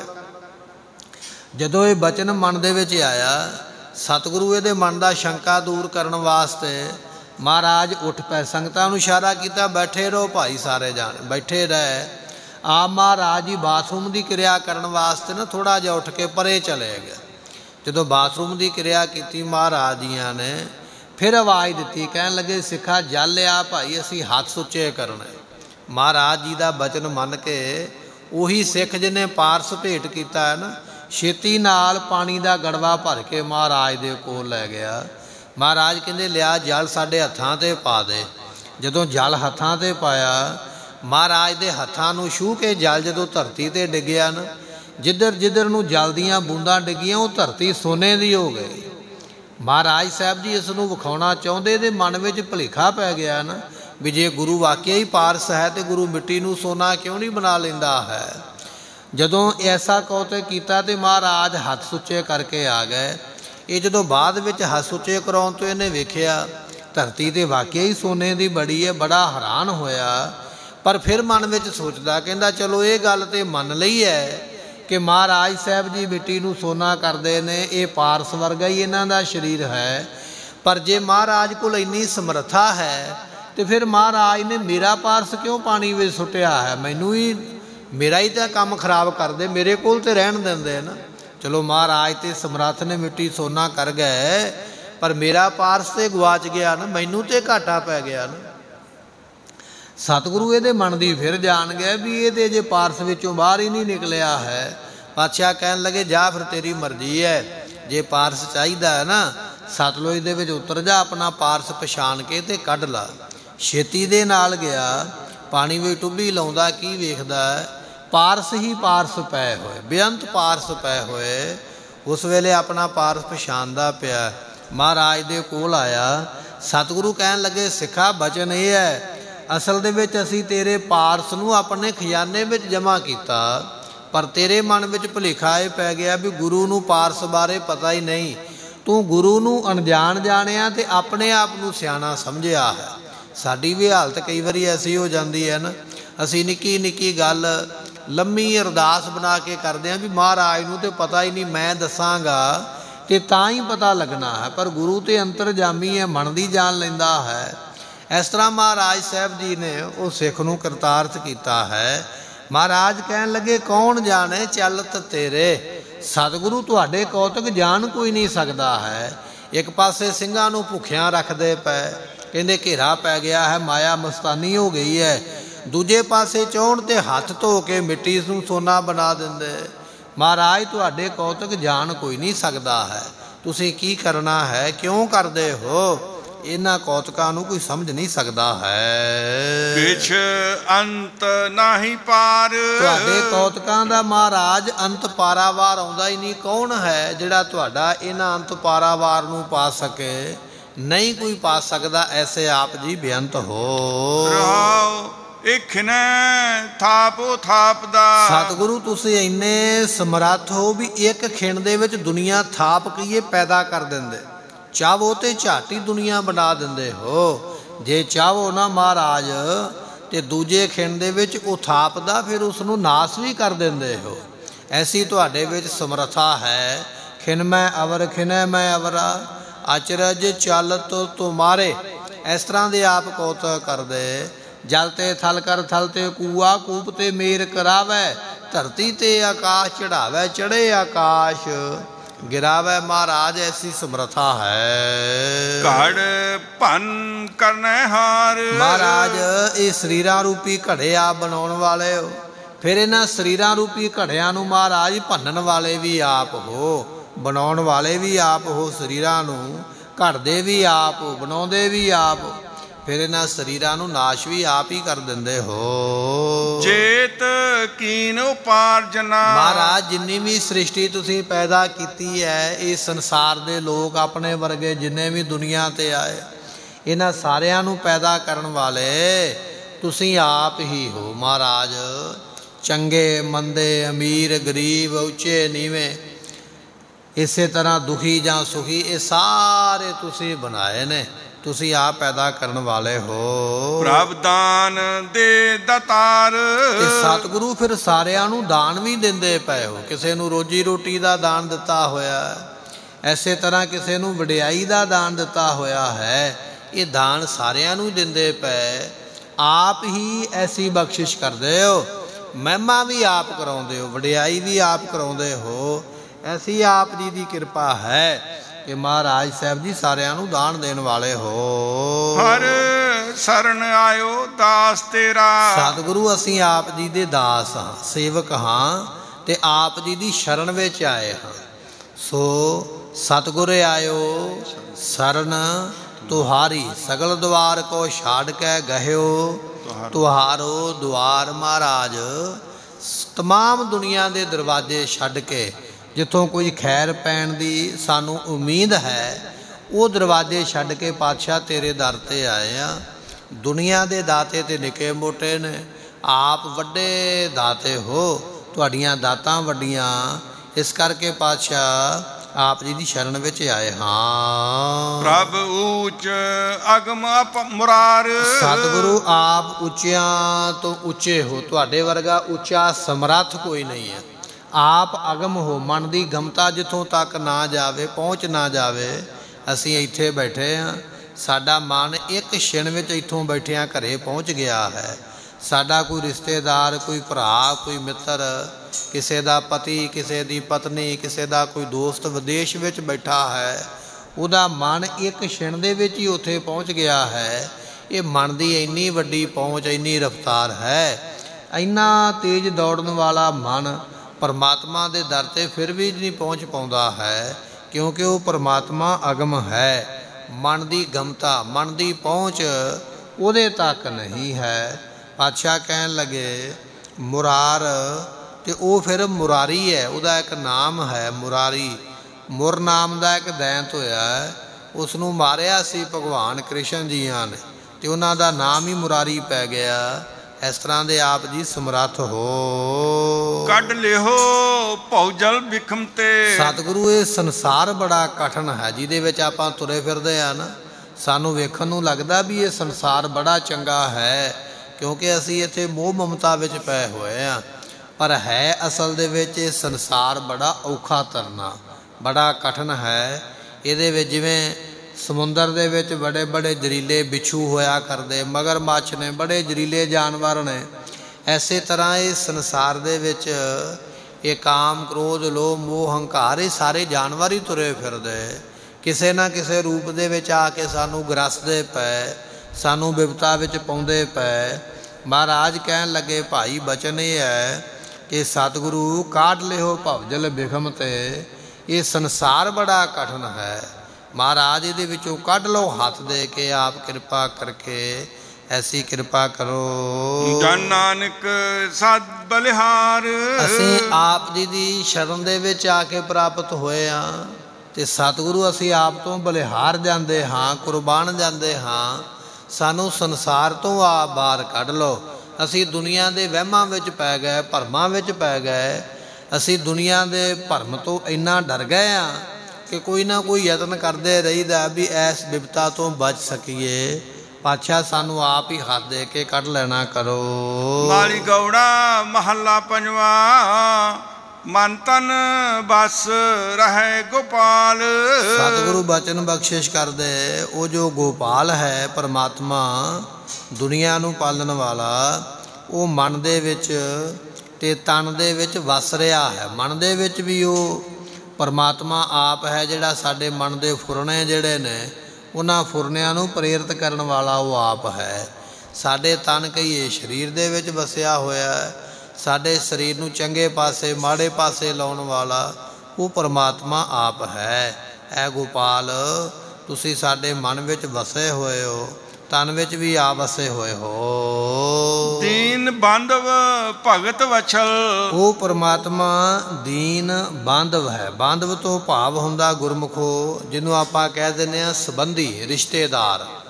ਉਹ ਪਰਮਾਤਮਾ ਜਿਹੜਾ ਹੈ ਉਹ ਗਰੀਬਾਂ ਦਾ ਰਿਸ਼ਤੇਦਾਰ। ਵੈਸੇ ਰਿਸ਼ਤੇਦਾਰ ਤੇ ਉਹ ਅਮੀਰਾਂ ਦਾ ਵੀ ਹੈ ਪਰ ਅਮੀਰਾਂ ਦਾ ਰਿਸ਼ਤੇਦਾਰ ਉਹਨੂੰ ਤਾਂ ਘੱਟ ਕਿਹਾ ਜਾਂਦਾ ਹੈ ਕਿਉਂਕਿ ਅਮੀਰ ਬੰਦੇ ਨੂੰ ਇਹ ਹੁੰਦਾ ਵੀ ਮੇਰੇ ਕੋਲ ਪੈਸਾ ਹੈ। ਇਹ ਪੈਸਾ ਮੇਰੀ ਮਦਦ ਕਰੇਗਾ। ਮੇਰੇ ਦੋਸਤ, ਮੇਰੇ ਰਿਸ਼ਤੇਦਾਰ ਬੜੇ ਅਮੀਰ ਨੇ, ਇਹ ਮੇਰੀ ਮਦਦ ਕਰ ਦੇਣਗੇ। ਉਹਨੂੰ ਦੁਨਿਆਵੀ ਲੋਕਾਂ ਦਾ ਭਰੋਸਾ ਹੁੰਦਾ, ਸੰਸਾਰੀ ਲੋਕਾਂ ਦਾ। ਵੀ ਫਲਾਣਾ ਰਿਸ਼ਤੇਦਾਰ ਮੇਰੀ ਮਦਦ ਕਰੇਗਾ, ਦੋਸਤ ਮਿੱਤਰ ਕਰ ਦੇਵੇਗਾ। ਪਰ ਜਿਹੜਾ ਗਰੀਬ ਹੁੰਦਾ ਨਾ ਗੁਰਮੁਖੋ, ਗਰੀਬ ਨੂੰ ਕਿਸੇ ਦਾ ਕੋਈ ਆਸਰਾ ਨਹੀਂ। ਗਰੀਬ ਨੂੰ ਪਤਾ ਵੀ ਪਹਿਲੀ ਤੇ ਗੱਲ ਮੈਨੂੰ ਕਿਸੇ ਨੇ ਮਤਲਬ ਦੇਣਾ ਹੀ ਨਹੀਂ ਹੈ। ਜੇ ਕਿਸੇ ਨੇ ਦੇਤਾ ਤੇ ਉਹਨੇ ਥੋੜਾ ਬਹੁਤਾ ਦੇ ਕੇ ਫਿਰ ਮੰਗਣ ਲੱਗ ਪੈਣਾ ਹੈ। ਇਸ ਕਰਕੇ ਜਿਹੜਾ ਗਰੀਬ ਬੰਦਾ ਉਹ ਕਿਸੇ ਦੀ ਆਸ ਰੱਖਦਾ ਹੀ ਨਹੀਂ। ਅਮੀਰ ਨੂੰ ਆਸ ਹੁੰਦੀ ਹੈ, ਫਲਾਣੇ ਸਮੇਂ ਵਿੱਚ ਫਲਾਣੇ ਨੂੰ ਇੰਨੀ ਮਦਦ ਦਿੱਤੀ ਹੈ, ਜਾਂ ਫਲਾਣੇ ਦੇ ਇੰਨੇ ਕੰਮ ਕਰਵਾਏ ਨੇ, ਹੁਣ ਜਦੋਂ ਮੈਨੂੰ ਲੋੜ ਪਵੇਗੀ, ਇਹ ਮੇਰਾ ਉਹਨਾਂ ਕੰਮਾਂ ਨੂੰ ਜ਼ਰੂਰ ਕਰਵਾਵੇਗਾ। ਪਰ ਗਰੀਬ ਨੂੰ ਪਤਾ ਹੈ ਵੀ ਮੇਰੇ ਵਿੱਚ ਆਪਣੇ ਵਿੱਚ ਕੋਈ ਸਮਰੱਥਾ ਨਹੀਂ, ਔਰ ਮੈਨੂੰ ਕਿਸੇ ਨੇ ਮਦਦ ਵੀ ਨਹੀਂ ਦੇਣੀ ਹੈ। ਮਹਾਰਾਜ ਜੀਆਂ ਦਾ ਬਚਨ ਹੈ, ਜੋ ਨਿਰਤਨ ਸਰਤਨ ਕਹਿ ਜਾਏ, ਆਗੇ ਬੈਠਾ ਪੀਠ ਫਰਾਏ। ਜੇ ਗਰੀਬ ਬੰਦਾ ਕਿਤੇ ਅਮੀਰ ਦੇ ਘਰ ਚਲਾ ਵੀ ਜਾਵੇ ਨਾ, ਪਹਿਲੀ ਤੇ ਗੱਲ ਅਮੀਰ ਬੰਦਾ ਕੋ ਮਿਲੇਗਾ ਹੀ ਨਹੀਂ। ਉਹਦੇ ਨੌਕਰ ਚਾਕਰ ਬਾਹਰੋਂ ਹੀ ਮੋੜ ਦੇਣਗੇ ਵੀ ਉਹਦੇ ਘਰੇ ਹੀ ਹੈ ਨਹੀਂ, ਉਹ ਤੇ ਮੀਟਿੰਗ ਵਿੱਚ ਬੈਠਾ ਹੋਇਆ। ਜੇ ਕਿਤੇ ਉਹਨੂੰ ਮਿਲਣਾ ਵੀ ਪੈ ਗਿਆ, ਵੀ ਚਲੋ ਮਿਲ ਲੈਂਦੇ ਹਾਂ, ਉਹ ਅਮੀਰ ਬੰਦੇ ਵੱਲ ਆਪਣਾ, ਗਰੀਬ ਬੰਦੇ ਵੱਲ ਆਪਣਾ ਮੂੰਹ ਨਹੀਂ ਕਰਦਾ, ਸਗੋਂ ਪਿੱਠ ਕਰਕੇ ਬੈਠ ਜਾਂਦਾ ਹੈ। ਉਹਨੂੰ ਪਤਾ ਵੀ ਇਹ ਕੋਈ ਨਾ ਕੁਝ ਮੰਗਣ ਹੀ ਆਇਆ, ਜਵਾਬ ਹੀ ਦੇਣਾ ਹੈ। ਸਤਿਗੁਰੂ ਪਾਤਸ਼ਾਹ ਕਹਿਣ ਲੱਗੇ, ਬਚਨ ਇਹ ਹੈ ਕਿ ਜਦੋਂ ਗਰੀਬ ਵਿਅਕਤੀ ਦੇ ਸਾਰੇ ਦਰਵਾਜ਼ੇ ਬੰਦ ਹੋ ਜਾਂਦੇ ਨੇ, ਕੋਈ ਮਦਦਗਾਰ ਨਹੀਂ ਨਾ ਦਿਸਦਾ। ਫਿਰ ਉਹਦੇ ਕੋਲ ਇੱਕੋ ਹੀ ਮਦਦਗਾਰ ਹੁੰਦਾ ਪਰਮਾਤਮਾ। ਫਿਰ ਉਹਦੀ ਸ਼ਰਨ ਵਿੱਚ ਜਾਂਦਾ ਵੀ ਐ ਸਤਿਗੁਰੂ, ਐ ਪਰਮਾਤਮਾ, ਕਿਰਪਾ ਕਰ ਮੇਰੀ ਮਦਦ ਕਰ। ਜਦੋਂ ਫਿਰ ਉਹਦੇ ਦਰ ਤੇ ਜਾਈਦਾ, ਉਹ ਫਿਰ ਪਰਮਾਤਮਾ ਜਿਹੜਾ ਹੈ ਦੀਨ ਬਾਂਧਵ, ਉਹ ਫਿਰ ਗਰੀਬਾਂ ਦਾ ਰਿਸ਼ਤੇਦਾਰ ਬਣ ਜਾਂਦਾ, ਉਸ ਵੇਲੇ ਸੰਬੰਧੀ ਬਣ ਜਾਂਦਾ ਹੈ। ਉਹਨਾਂ ਦੇ ਨਾਲ ਹੀ ਉਹ ਖੜ ਜਾਂਦਾ ਵੀ ਚੱਲ ਤੇਰਾ ਕੋਈ ਵਾਲ ਨਹੀਂ ਵਿੰਗਾ ਕਰ ਸਕੇਗਾ। ਮੈਂ ਤੇਰੇ ਨਾਲ ਖਲੋਤਾ ਹਾਂ ਕਿਉਂਕਿ ਸਾਰੀ ਦੁਨੀਆ ਦੀ ਟੇਕ ਛੱਡ ਦਿੱਤੀ ਹੈ। ਤੂੰ ਮੇਰੇ ਆਸਰੇ ਆ ਕੇ ਬੈਠਾ ਹੈ ਐਸੀ ਫਿਰ ਕਿਰਪਾ ਕਰਦੇ ਹਨ ਸਦਾ ਸਦਾ ਕਿਰਪਾਲ। ਦੀਨ ਬਾਂਧਵ ਭਗਤ ਵਛਲ ਵਛਲ ਨਾਮ ਗੁਰਮੁਖੋ ਪਿਆਰੇ ਦਾ ਹੈ। ਉਹ ਆਪਣੇ ਆ ਭਗਤਾਂ ਨੂੰ ਬੜਾ ਹੀ ਪਿਆਰ ਕਰਦਾ ਹੈ। ਭਗਤਾਂ ਨੂੰ ਤਤੀ ਵਾਹ ਤੱਕ ਨਹੀਂ ਲੱਗਣ ਦਿੰਦਾ। ਹਰ ਯੁਗ ਯੁਗ ਭਗਤ ਉਪਾਇਆ ਪੈਜ ਰੱਖਦਾ ਆ ਪੈਜ ਕਹੀਏ, ਇੱਜ਼ਤ ਆਪਣੇ ਭਗਤਾਂ ਦੀ ਪੂਰੀ ਇੱਜ਼ਤ ਬਣਾ ਕੇ ਰੱਖਦਾ ਹੈ। ਕਦੇ ਉਹਨਾਂ ਦੀ ਇੱਜ਼ਤ ਵਿਗੜਨ ਨਹੀਂ ਦਿੰਦਾ ਹੈ। ਦੇਵਾ ਪਾਹਣ ਤਾਰੀਲੇ RAM ਕਹਿਤ ਜਨ ਕਾਸਨਾ ਤਰੇ। ਸੋ ਇਸ ਤਰ੍ਹਾਂ ਇੱਜ਼ਤ ਬਚਾ ਲੈਂਦਾ ਇੱਕ ਦੇਵਾ ਨਾਮ ਦਾ ਗੁਰਮੁਖੋ ਬ੍ਰਾਹਮਣ ਹੋਇਆ। ਤੇ ਉਹ ਮੰਦਰ ਦਾ ਪੁਜਾਰੀ ਸੀਗਾ। ਤੇ ਕੀ ਹੋਇਆ ਕਰਦਾ ਵੀ ਉਸ ਦੇਸ਼ ਦਾ ਰਾਜਾ ਨਾ ਬੜੀ ਸੋਹਣੀ ਮਾਲਾ ਬਣਾ ਕੇ ਤੇ ਪਹਿਲਾਂ ਮੰਦਰ ਵਿੱਚ ਭੇਜਿਆ ਕਰਦਾ। ਤੇ ਜਿਹੜਾ ਪੁਜਾਰੀ ਸੀ ਦੇਵਾ, ਉਹਨੇ ਕੀ ਕਰਨਾ ਵੀ ਉਹ ਸੋਹਣੀ ਮਾਲਾ ਬਣਾਈ ਹੋਈ ਪਹਿਲਾਂ ਭਗਵਾਨ ਦੇ ਠਾਕੁਰ ਦੇ ਗਲ ਵਿੱਚ ਪਾਉਣੀ ਤੇ ਜਦੋਂ ਰਾਜੇ ਨੇ ਆ ਜਾਣਾ, ਫਿਰ ਉਹ ਮਾਲਾ ਉਤਾਰ ਕੇ ਤੇ ਰਾਜੇ ਦੇ ਗਲ ਵਿੱਚ ਪਾ ਦੇਣੀ। ਰਾਜੇ ਨੇ ਆਉਣਾ, ਦਿਨ ਚੜੇ ਮੱਥਾ ਟੇਕਣ। ਤੇ ਇਹ ਮਾਲਾ ਜਿਹੜੀ ਅੰਮ੍ਰਿਤ ਵੇਲੇ ਆ ਜਾਣੀ, ਉਹਨੇ ਅੰਮ੍ਰਿਤ ਵੇਲੇ ਬ੍ਰਾਹਮਣ ਨੇ, ਪੰਡਤ ਨੇ ਪੂਜਾ ਕਰਨੀ ਤੇ ਪੂਜਾ ਕਰਕੇ ਤੇ ਉਹ ਸੋਹਣੀ ਮਾਲਾ ਭਗਵਾਨ ਦੇ ਗਲ ਵਿੱਚ ਪਾ ਦੇਣੀ, ਮੂਰਤੀ ਦੇ ਗਲ ਵਿੱਚ ਪਾ ਦੇਣੀ। ਤੇ ਉਹ ਮਾਲਾ ਗਲ ਵਿੱਚ ਹੀ ਪਈ ਰਹਿਣੀ। ਤੇ ਜਦੋਂ ਆਉਣਾ ਰਾਜੇ ਨੇ ਮੱਥਾ ਟੇਕਣ ਤੇ ਫਿਰ ਉਹ ਮੂਰਤੀ ਦੇ ਗਲੋਂ ਮਾਲਾ ਲਾ ਕੇ ਤੇ ਰਾਜੇ ਨੂੰ ਪਾ ਦੇਣੇ। ਰਾਜੇ ਦਾ ਸਵਾਗਤ ਕਰਨਾ। ਰਾਜੇ ਨੇ ਬੜੇ ਖੁਸ਼ ਹੋਣਾ। ਇੱਕ ਦਿਨ ਕੀ ਹੋਇਆ, ਮਾਲਾ ਤੇ ਆ ਗਈ ਮੰਦਰ ਦੇ ਵਿੱਚ। ਠਾਕੁਰ ਦੇ ਗਲ ਵਿੱਚ ਪਾ ਵੀ ਦਿੱਤੀ ਤੇ ਪੰਡਤ ਜੀ ਉਡੀਕਦੇ ਰਹੇ ਵੀ ਰਾਜਾ ਆਵੇਗਾ ਤੇ ਉਹਦੇ ਗਲ ਵਿੱਚ ਮਾਲਾ ਪਾਵਾਂਗਾ।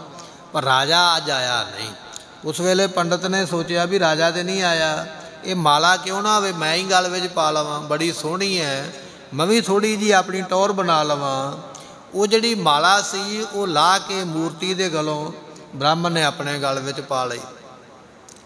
ਅਜੇ ਪਾ ਕੇ ਥੋੜਾ ਜਿਹਾ ਹੀ ਟਹਿਲਿਆ ਹੈ। ਇੰਨੇ ਚਿਰ ਨੂੰ ਰਾਜੇ ਦੀ ਪਾਲਕੀ ਆਉਣ ਦੀ ਆਵਾਜ਼ ਆ ਗਈ। ਸਿਪਾਹੀਆਂ ਦੇ ਨੌਕਰਾਂ ਚਾਕਰਾਂ ਦੀ ਢੋਲ ਢਮੱਕਾ ਵੱਜਦਾ ਆਵੇ। ਜਦੋਂ ਉਸਨੇ ਦਰਵਾਜ਼ਾ ਖੋਲ ਕੇ ਮੰਦਰ ਦਾ ਵੇਖਿਆ ਵੀ ਸਾਹਮਣੇ ਤੇ ਰਾਜੇ ਦੀ ਪਾਲਕੀ ਆਉਂਦੀ ਹੈ ਜੇ ਰਾਜੇ ਨੂੰ ਪਤਾ ਲੱਗ ਗਿਆ ਵੀ ਇਹ ਮਾਲਾ ਮੈਂ ਗਲ ਵਿੱਚ ਪਾ ਲਈ ਹੈ, ਰਾਜਾ ਬੜੀ ਭਾਰੀ ਸਜ਼ਾ ਦੇਵੇਗਾ। ਉਹਨੇ ਛੇਤੀ ਦੇ ਨਾਲ ਆਪਣੇ ਗਲੋਂ ਮਾਲਾ ਲਾਈ ਤੇ ਫਿਰ ਉਹਨੇ ਠਾਕੁਰ ਦੇ ਗਲ ਵਿੱਚ ਹੀ ਪਾ ਦਿੱਤੀ। ਜਦੋਂ ਰਾਜਾ ਆਇਆ, ਰਾਜੇ ਨੇ ਨਮਸਕਾਰ ਕੀਤੀ ਹੈ ਤੇ ਉਹ ਜਿਹੜੀ ਮਾਲਾ ਸੀ ਉਹਨੇ ਠਾਕਰ ਦੇ ਗਲੋਂ ਲਾ ਕੇ ਤੇ ਰਾਜੇ ਦੇ ਗਲ ਵਿੱਚ ਪਾ ਦਿੱਤੀ। ਰਾਜੇ ਬੜੇ ਸ਼ੈਤਾਨ ਤੇ ਚਲਾਕ ਹੋਇਆ ਕਰਦੇ ਉਹਨੂੰ ਕੁਝ ਅੰਦਾਜ਼ਾ ਜਿਹਾ ਹੋ ਗਿਆ ਵੀ ਇਹਨੇ ਕੁਝ ਨਾ ਕੁਝ ਤੇ ਕੀਤਾ ਹੈ। ਜਦੋਂ ਉਸਨੇ ਮਾਲਾ ਨੂੰ ਧਿਆਨ ਨਾਲ ਵੇਖਿਆ ਨਾ ਤੇ ਮਾਲਾ ਦੇ ਵਿੱਚ ਇੱਕ ਚਿੱਟੇ ਰੰਗ ਦਾ ਵਾਲ ਉਸ ਨੂੰ ਦਿਖਾਈ ਦੇ ਪਿਆ। ਰਾਜਾ ਜਾਣ ਗਿਆ ਵੀ ਇਹ ਤੇ ਪੰਡਤ ਨੇ ਗਲ ਵਿੱਚ ਮਾਲਾ ਪਾਈ ਹੈ। ਇਹਦੀ ਦਾੜੀ ਦਾ ਵਾਲ ਨਾਲ ਆ ਗਿਆ। ਜਦੋਂ ਇੱਕੇ ਵਾਰੀ ਲਾਈ ਉਹਨੇ ਤੇ ਇੱਕ ਦਾ ਵਾਲ ਕਿਤੇ ਨਾਲ ਹੀ ਚਲਾ ਗਿਆ। ਉਸ ਵੇਲੇ ਰਾਜਾ ਬੜੇ ਗੁੱਸੇ ਵਿੱਚ ਆ ਕੇ ਪੁੱਛਦਾ ਹੈ ਵੀ ਇਹ ਵਾਲ ਕਿਉਂ ਆਇਆ ਹੈ? ਹੁਣ ਜੇ ਤੇ ਸੱਚ ਦੱਸੇ ਵੀ ਮੈਂ ਗਲ ਵਿੱਚ ਪਾਈ ਹੈ ਤੇ ਰਾਜਾ ਸਜ਼ਾ ਦੇਵੇਗਾ। ਹੁਣ ਆਪਣੇ ਆਪ ਨੂੰ ਬਚਾਉਣ ਵਾਸਤੇ ਕਹਿਣ ਲੱਗਾ ਜੀ, ਇਹ ਠਾਕੁਰ ਦੇ ਗਲ ਵਿੱਚ ਜਦੋਂ ਮੈਂ ਮਾਲਾ ਪਾਉਂਦਾ ਹਾਂ ਨਾ, ਤੇ ਉਸ ਵੇਲੇ ਠਾਕੁਰ ਨੂੰ ਦਾੜੀ ਆ ਜਾਂਦੀ ਹੈ। ਤੇ ਇਹ ਜਦੋਂ ਮੈਂ ਉਤਾਰਦਾ ਕਿਤੇ ਵਾਲ ਨਾਲ ਆ ਗਿਆ ਹੋਵੇਗਾ, ਰਾਜਾ ਕਹਿਣ ਲੱਗਾ ਵੀ ਬੜੀ ਚੰਗੀ ਗੱਲ ਹੈ, ਜੇ ਠਾਕੁਰ ਨੂੰ ਦਾੜੀ ਆਉਂਦੀ ਹੈ, ਇਹ ਤੂੰ ਮਾਲਾ ਕਿੰਨੇ ਵਜੇ ਗਲ ਵਿੱਚ ਪਾਉਂਦਾ ਹੈ? ਟਾਈਮ ਦੱਸਿਆ। ਕਹਿਣ ਲੱਗਾ, ਚਲ ਕੱਲ ਨੂੰ ਫਿਰ ਇਸੇ ਟਾਈਮ ਹੀ ਮੈਂ ਆਵਾਂਗਾ। ਮੇਰੇ ਸਾਹਮਣੇ ਭਾਈ ਇਹ ਮਾਲਾ ਉਹਦੇ ਗਲ ਵਿੱਚ, ਤੇ ਮੈਂ ਵੇਖਾਂਗਾ ਵੀ ਦਾੜੀ ਕਿਵੇਂ ਆਉਂਦੀ ਹੈ। ਮੈਂ ਵੀ ਦਰਸ਼ਨ ਕਰ ਲਵਾਂਗਾ। ਕਹਿਣ ਲੱਗਾ, ਠੀਕ ਹੈ ਜੀ, ਤੁਸੀਂ ਆ ਜਾਇਓ। ਮੈਂ ਤੁਹਾਨੂੰ ਇਸੇ ਤਰ੍ਹਾਂ ਹੀ ਕਰਕੇ ਵਿਖਾ ਦਿਆਂਗਾ। ਹੁਣ ਰਾਜਾ ਤੇ ਚਲੇ ਗਿਆ। ਪੰਡਤ ਪੈ ਗਿਆ ਪੌੜੀ ਤੇ ਲੰਮਾ ਭਗਵਾਨ ਦੇ ਸਾਹਮਣੇ। ਉਹਨੂੰ ਪਤਾ ਹੈ ਵੀ ਦਾੜੀ ਤੇ ਆਉਣੀ ਨਹੀਂ ਹੈ। ਅਤੇ ਰਾਜੇ ਨੇ ਕੱਲ ਨੂੰ ਆ ਜਾਣਾ ਆਪਣੇ ਟਾਈਮ ਤੇ। ਮੇਰਾ ਝੂਠ ਫੜਿਆ ਜਾਣਾ, ਮੈਨੂੰ ਸਜ਼ਾ ਮਿਲਣੀ ਹੈ। ਉਥੇ ਪੰਡਤ ਮੰਦਰ ਦੇ ਵਿੱਚ ਹੀ ਰਿਹਾ, ਘਰ ਹੀ ਨਹੀਂ ਗਿਆ। ਹੁਣ ਤੋਂ ਲੈ ਕੇ ਅਗਲੇ 24 ਘੰਟਿਆਂ ਤੱਕ ਉਹਨੇ ਆਉਣਾ ਹੈ। 24 ਘੰਟੇ ਮੂਰਤੀ ਦੇ ਪੈਰ ਫੜ ਕੇ ਤੇ ਮੰਦਰ ਦੀ ਪੌੜੀ ਤੇ ਲੰਮੇ ਪਿਆ ਰਿਹਾ। ਕਹਿਣ ਲੱਗਾ ਵੀ ਹੁਣ ਇੱਜ਼ਤ ਰੱਖ ਜਿਵੇਂ ਰੱਖ ਸਕਦਾ ਹੈ। ਮੈਂ ਤੇਰੇ ਘਰ ਦਾ ਸੇਵਕ ਹਾਂ। ਮੇਰੇ ਕੋਲੋਂ ਗਲਤੀ ਹੋ ਗਈ ਹੈ। ਪਰ ਜੇ ਮੇਰੀ ਇੱਜ਼ਤ ਨਾ ਨਾ ਰੱਖੀ, ਤੇ ਉਸ ਵੇਲੇ ਕੱਲ ਨੂੰ ਮੇਰੀ ਬਦਨਾਮੀ ਵੀ ਹੋਣੀ, ਸਜ਼ਾ ਵੀ ਮੈਨੂੰ ਮਿਲਣੀ ਹੈ। ਸਾਰੀ ਰਾਤ ਤਰਲੇ ਕਰਦਿਆਂ ਲੰਘ ਗਈ। ਸਾਰਾ ਦਿਨ ਵੀ ਮਿੰਟਾਂ ਕਰਦਿਆਂ ਲੰਘ ਗਈ। ਬੜੇ ਬੜੇ ਮੰਤਰ ਪੜੇ ਬੜੇ ਤਰਲੇ ਕੀਤੇ। ਜਦੋਂ ਅਗਲਾ ਦਿਨ ਆਇਆ ਅੱਜ ਰਾਜਾ ਮਾਲਾ ਆਪ ਹੱਥੀਂ ਲੈ ਕੇ ਆਇਆ ਉਸੇ ਸਮੇਂ। ਜਿਹੜਾ ਸਮਾਂ ਪੰਡਤ ਨੇ ਕਿਹਾ ਸੀਗਾ, ਉਸ ਵੇਲੇ ਜਦੋਂ ਮਾਲਾ ਪਾਈ ਨਾ ਗਲ ਦੇ ਵਿੱਚ, ਤੇ ਉਹ ਭਗਵਾਨ ਦੀਆਂ ਦੀ ਦਾੜੀ ਆ ਗਈ ਉਸ ਵੇਲੇ। ਰਾਜਾ ਸੋਚਦਾ ਵੀ ਇਹ ਪੰਡਤ ਬੜਾ ਚਲਾਕ ਹੈ, ਇਹਨੇ ਦਾੜੀ ਨਕਲੀ ਲਾਤੀ ਨਹੀਂ ਲਿਆ ਕੇ ਕਿਤੇੋਂ ਮੈਨੂੰ ਵਿਖਾਉਣ ਵਾਸਤੇ। ਇਹ ਅਸਲੀ ਨਹੀਂ ਹੋ ਸਕਦੀ ਹੈ ਵੀ ਅੱਗੇ ਤੇ ਕਦੇ ਐਸਾ ਹੋਇਆ ਨਹੀਂ ਹੈ। ਇਹ ਨਕਲੀ ਦਾੜੀ ਇਸਨੇ ਲਾਈ ਹੋਣੀ ਹੈ। ਪਰਖ ਕਰਨ ਵਾਸਤੇ ਉਸ ਵੇਲੇ ਜਦੋਂ ਦਾੜੀ ਨੂੰ ਪੱਟ ਕੇ ਵੇਖਣ ਲੱਗਾ ਨਾ, ਲਾ ਕੇ, ਇੱਕ ਵਾਲ ਉਸ ਵੇਲੇ ਦਾੜੀ ਦਾ ਜਦੋਂ ਖਿੱਚਿਆ ਤੇ ਕਹਿਣ ਲੱਗੇ, ਉਹ ਜਿੱਥੋਂ ਵਾਲ ਖਿੱਚਿਆ, ਉਥੋਂ ਖੂਨ ਨਿਕਲਣ ਲੱਗ ਪਿਆ ਉਸ ਵੇਲੇ। ਰਾਜਾ ਉਸ ਵੇਲੇ ਬੜਾ ਹੈਰਾਨ ਹੈ। ਮੰਨ ਗਿਆ, ਬਚਨ ਵੀ ਵਾਕਿਆ ਹੀ ਇਹ ਭਗਵਾਨ ਜੀਆਂ ਨੂੰ ਦਾੜਾ ਆਇਆ ਹੈ ਕਿ ਉਸ ਵੇਲੇ ਖੂਨ ਡਿੱਗਦਾ ਵੇਖ ਕੇ, ਗਸ਼ ਖਾ ਕੇ ਫਿਰ ਧਰਤੀ ਤੇ ਡਿੱਗ ਪਿਆ ਰਾਜਾ। ਫਿਰ ਮਾਫੀ ਮੰਗਦਾ ਹੈ। ਭਗਵਾਨ ਜੀਆਂ ਦੇ ਕੋਲੋਂ ਵੀ ਮਾਫੀ ਮੰਗਦਾ ਹੈ। ਫਿਰ ਪੰਡਤ ਦੇ ਕੋਲੋਂ ਵੀ ਮਾਫੀ ਮੰਗਦਾ ਵੀ ਮੈਂ ਸ਼ੰਕਾ ਕਰ ਬੈਠਾ, ਮੇਰੇ ਕੋਲੋਂ ਗਲਤੀ ਹੋ ਗਈ ਹੈ। ਇਸ ਤਰ੍ਹਾਂ ਮਾਫੀ ਮੰਗਦਾ ਪਿਆ। ਮਹਾਰਾਜ ਕਹਿਣ ਲੱਗੇ, ਦੇਵਾ, ਪਾਹਣ ਤਾਰੀਲੇ ਦੇਵਾ ਨਾਮ ਦਾ ਉਹ ਬ੍ਰਾਹਮਣ ਹੈ। ਵੇਖੋ, ਪੱਥਰ ਦੀ ਮੂਰਤੀ ਨੇ ਉਹਨੂੰ ਤਾਰਨ ਵਾਸਤੇ ਪ੍ਰਮਾਤਮਾ ਨੇ ਐਸੀ ਕਿਰਪਾ ਕੀਤੀ ਹੈ। ਪੱਥਰ ਦੀ ਮੂਰਤੀ ਨੂੰ ਦਾੜੀ ਉਸ ਵੇਲੇ ਉਗਾਈ ਹੈ। ਦੇਵਾ, ਪਾਹਣ ਤਾਰੀਲੇ RAM ਕਹਿਤ ਜਨ ਕਸਨਾ ਤਰੇ ਭਗਤ ਕਹਿਣ ਲੱਗੇ, ਪਰਮਾਤਮਾ, ਤੇਰੀ ਮੂਰਤੀ ਤੇ ਇੱਕ ਪੰਡਤ ਨੂੰ ਤਾਰਨ ਵਾਸਤੇ ਤੂੰ ਜੇ ਮੂਰਤੀ ਨੂੰ ਦਾੜੀ ਪੈਦਾ ਕਰ ਸਕਦਾ ਹੈ, ਜਿਹੜੇ ਤੇਰਾ ਨਾਮ ਲੈਂਦੇ ਨੇ RAM RAM ਕਰਦੇ, ਜਿਹੜੇ ਵਾਹਿਗੁਰੂ ਵਾਹਿਗੁਰੂ ਕਹਿੰਦੇ, ਜਿਹੜੇ ਤੈਨੂੰ ਜਪਦੇ ਪਏ, ਤੂੰ ਉਹਨਾਂ ਨੂੰ ਕਿਵੇਂ ਨਹੀਂ ਤਾਰੇਗਾ? ਉਹਨਾਂ ਨੂੰ ਵੀ ਤੂੰ ਜ਼ਰੂਰ ਤਾਰ ਹੀ ਦੇਵੇਂਗਾ। ਇਹ ਮੇਰੇ ਮਨ ਦਾ ਭਰੋਸਾ ਹੈ। ਕਿ ਜੇ 24 ਘੰਟੇ ਇੱਕ ਬ੍ਰਾਹਮਣ ਨੇ ਜਪਿਆ, ਕੇਵਲ 24 ਘੰਟੇ ਹੀ ਤਰਲੇ ਕੀਤੇ ਨਾ ਉਹਨੇ, ਕਿ ਪ੍ਰਮਾਤਮਾ ਹੁਣ ਮੇਰੀ ਇੱਜ਼ਤ ਤੇਰੇ ਹੱਥ ਵਿੱਚ ਹੈ, ਇੱਕ 24 ਘੰਟੇ ਬ੍ਰਾਹਮਣ ਨੇ ਤੇਰੇ ਨਾਮ ਨੂੰ ਆਖਿਆ ਤੂੰ ਉਹਨੂੰ ਉਤਾਰ ਦਿੱਤਾ ਹੈ, ਉਹਦਾ ਭਲਾ ਕਰ ਦਿੱਤਾ, ਇਤਿਹਾਸ ਵਿੱਚ ਅਮਰ ਹੋ ਗਿਆ ਹੈ ਵੀ ਇਹਦੇ ਕਰਕੇ ਭਗਵਾਨ ਨੂੰ ਦਾੜੀ ਆ ਗਈ ਹੈ, ਤੇ ਜਿਹੜੇ ਹਰ ਵੇਲੇ ਤੇਰਾ ਨਾਮ ਜਪਦੇ ਰਹਿੰਦੇ, ਵਾਹਿਗੁਰੂ ਮੰਤਰ ਕਰਦੇ, ਵਾਹਿਗੁਰੂ ਮੰਤਰ ਦਾ ਚਿੰਤਨ ਕਰਦੇ ਮਹਾਰਾਜ, ਉਹਨਾਂ ਨੂੰ ਕਿਉਂ ਨਹੀਂ ਤਾਰੋਗੇ? ਤੁਸੀਂ ਉਹਨਾਂ ਨੂੰ ਵੀ ਤਾਰ ਦੇਵੋਗੇ। RAM ਕਹਿਤ, ਜਨ ਕਸ ਨਾ ਤਰੇ। RAM ਕਹਿ ਕੇ, ਭਗਤ ਕਿਵੇਂ ਨਹੀਂ ਤਰਨਗੇ? ਜ਼ਰੂਰ ਤਰ ਜਾਂਦੇ। ਸਤਿਗੁਰੂ ਬਚਨ ਬਖਸ਼ਿਸ਼ ਕਰਦੇ, ਕਹਿਣ ਲੱਗੇ, ਦੀਨ ਬਾਂਧਵ ਭਗਤ ਵਛਲ। ਉਹ ਭਗਤਾਂ ਨੂੰ ਇਸ ਤਰ੍ਹਾਂ ਪਿਆਰ ਕਰਦਾ ਹੈ ਜਿਵੇਂ ਦੇਵਾ ਨਾਮ ਦੇ ਬ੍ਰਾਹਮਣ ਨੂੰ ਪਿਆਰ ਕਰਕੇ ਉਸਨੇ ਧਾਰਿਆ ਹੈ। ਸਦਾ ਸਦਾ ਕਿਰਪਾਲ। ਆਪ ਸਦਾ ਵਾਸਤੇ ਕਿਰਪਾਲੂ ਹੋ ਸਦਾ ਵਾਸਤੇ ਕਿਰਪਾ ਹੀ ਕਿਰਪਾ ਕਰਦੇ ਹੋ ਸਦਾ ਵਾਸਤੇ ਬਖਸ਼ਿਸ਼ਾਂ ਕਰਨ ਵਾਲੇ ਹੋ। ਰਾਉ ਆਦ ਅੰਤ ਮਦ ਤੂੰ ਹੈ। ਸੋ ਆਦ ਨਾਮ ਜਦੋਂ ਸ੍ਰਿਸ਼ਟੀ ਦੀ ਰਚਨਾ ਤੋਂ ਪਹਿਲੇ ਵੀ ਪਰਮਾਤਮਾ ਤੂੰ ਆਪ ਹੀ ਸੀਗਾ। ਜਦੋਂ ਸ੍ਰਿਸ਼ਟੀ ਨਹੀਂ ਸੀ ਨਾ ਬਣੀ ਇਹ ਤੇ ਮਹਾਰਾਜ ਦਾ ਬਚਨ ਕੀਤਾ ਆਪ ਸਾਓ। ਏਕੋ ਅਕਵਾਓ ਤਿਸ ਤੇ ਹੋਏ ਲੱਖ। ਲੱਖ ਦਰਿਆਓ। ਇਹ ਦੁਨੀਆ ਬਣਾਉਣ ਤੋਂ ਪਹਿਲਾਂ ਪਰਮਾਤਮਾ ਹੀ ਸੀ ਕੱਲਾ ਉਹਨੇ ਹੀ ਆਖਿਆ ਵੀ ਦੁਨੀਆ ਬਣਾਉਣੀ ਹੈ ਤੇ ਤਾਂ ਬਣੀ ਹੈ। ਮਹਾਰਾਜ ਕਹਿਣ ਲੱਗੇ ਆਦ ਜਦੋਂ ਦੁਨੀਆ ਨਹੀਂ ਬਣੀ ਉਦੋਂ ਵੀ ਤੁਸੀਂ ਸੀ। ਅਤੇ ਇਸੇ ਤਰ੍ਹਾਂ ਮੱਧ ਕਾਲ ਹੁਣ ਦੁਨੀਆ ਬਣ ਗਈ ਆਪਾਂ ਸਾਰੇ ਦੁਨੀਆ ਵਿੱਚ ਆਏ ਹੋਏ ਆ ਹੁਣ ਵੀ ਪਰਮਾਤਮਾ ਇਸ ਦੁਨੀਆ ਵਿੱਚ ਹੈ। ਅਤੇ ਇਸੇ ਤਰ੍ਹਾਂ ਅੰਤ ਜਦੋਂ ਇਹ ਦੁਨੀਆ ਨਹੀਂ ਰਵੇਗੀ ਮਾਂ ਪਰਲੋ ਹੋ ਜਾਵੇਗੀ ਕੁਝ ਨਹੀਂ ਰਵੇਗਾ ਉਸ ਵੇਲੇ ਵੀ ਪ੍ਰਮਾਤਮਾ ਤੂੰ ਆਪ ਹੀ ਹੋਣਾ ਹੈ। ਪ੍ਰਭ ਬਿਨਾ ਨਾਹੀ ਕੋਏ ਉਹਦੇ ਬਿਨਾ ਕੋਈ ਦੂਜਾ ਹੋਰ ਹੈ ਨਹੀਂ ਹੈ ਕੋਈ। ਪੂਰ ਰਹਿਆ ਸਗਲ ਮੰਡਲ। ਉਹ ਪ੍ਰਮਾਤਮਾ ਸਾਰੇ ਮੰਡਲਾਂ ਦੇ ਵਿੱਚ ਬ੍ਰਹਿਮੰਡਾਂ ਦੇ ਵਿੱਚ ਧਰਤੀਆਂ ਦੇ ਵਿੱਚ ਖਾਣੀਆਂ ਦੇ ਵਿੱਚ ਜਰੇ ਜਰੇ ਵਿੱਚ ਕਣ ਕਣ ਵਿੱਚ ਆਪ ਸਾਰਿਆਂ ਥਾਵਾਂ ਤੇ ਪਰਿਪੂਰਨ ਹੋ ਰਿਹਾ ਹੈ। ਏਕ ਸੁਆਮੀ ਸੋਏ। ਉਹ ਹੀ ਹੈ ਸੁਆਮੀ ਮਾਲਕ ਜਿਹੜਾ ਸਾਰਿਆਂ ਦੇ ਵਿੱਚ ਸੁਭਾਇਮਾਨ ਹੈ। ਕਰਨ ਹਰ ਜਸ ਨੇਤਰ ਦਰਸ਼ਨ। ਮਹਾਰਾਜ ਕਿਰਪਾ ਕਰੋ ਮੈਂ ਕਰਨ ਕੰਨਾਂ ਦੇ ਨਾਲ ਆਪ ਜੀ ਦਾ ਜਸ ਸਰਵਣ ਕਰਾਂ ਇਹ ਮੇਰੇ ਤੇ ਕਿਰਪਾ ਕਰੋ। ਗੁਰੂ ਕੋਲੋਂ ਕੀ ਮੰਗਣਾ ਆ ਕੇ ਵੈਸੇ ਤੇ ਅਸੀਂ ਦੁਨੀਆ ਦੇ ਪਦਾਰਥ ਹੀ ਮੰਗਦੇ ਆ ਕਿ ਇਹ ਵਸਤੂ ਮਿਲੇ ਇਹ ਵਸਤੂ ਮਿਲ ਜਾਵੇ। ਗੁਰੂ ਕੋਲੋਂ ਇਹ ਮੰਗ ਮਹਾਰਾਜ ਮੇਰੇ ਕੰਨਾਂ ਦੇ ਵਿੱਚ ਤੁਹਾਡਾ ਜਸ ਪਵੇ ਮੇਰੇ ਕੰਨਾਂ ਵਿੱਚ ਤੁਹਾਡੀ ਆਵਾਜ਼ ਪਵੇ। ਸਈ ਪਿਆਰੇ ਮੇਲ ਜਿਨ੍ਹਾਂ ਮਿਲਿਆ ਤੇਰਾ ਨਾਮ ਨਾਮ ਚਿੱਤ ਆਵੇ। ਇਹ ਆਪਾਂ ਅਰਦਾਸ ਕਰਦੇ ਆ ਬੇਨਤੀ ਇਹ ਹੈ ਸਤਿਗੁਰੂ ਕਿਰਪਾ ਕਰੋ ਕਿ ਮੇਰੇ ਕੰਨਾਂ ਦੇ ਵਿੱਚ ਤੁਹਾਡੀ ਆਵਾਜ਼ ਪਵੇ। ਨੇਤਰ ਦਰਸ਼ਨ ਮੈਂ ਅੱਖਾਂ ਦੇ ਨਾਲ ਤੁਹਾਡੇ ਦਰਸ਼ਨ ਕਰਾਂ ਇਹ ਮੇਰੇ ਤੇ ਕਿਰਪਾ ਕਰੋ। ਰਸਨ ਹਰ ਗੁਣ ਗਾਓ। ਜਿਹੜੀ ਮੇਰੀ ਰਸਨ ਰਸਨਾ ਹੈ ਇਹਦੇ ਨਾਲ ਮੈਂ ਤੁਹਾਡਾ ਨਾਮ ਜਪਦਾ ਰਵਾਂ। ਜਿਹਬਾ ਜਪ ਗੁਰ ਨਾਓ ਨੇਤਰੀ ਸਤਿਗੁਰੂ ਪੇਖਣਾ ਸਰਵਣੀ ਸੁਨਣਾ ਗੁਰ ਨਾਓ ਸਤਿਗੁਰ ਸੇਤੀ ਰਤਿਆ।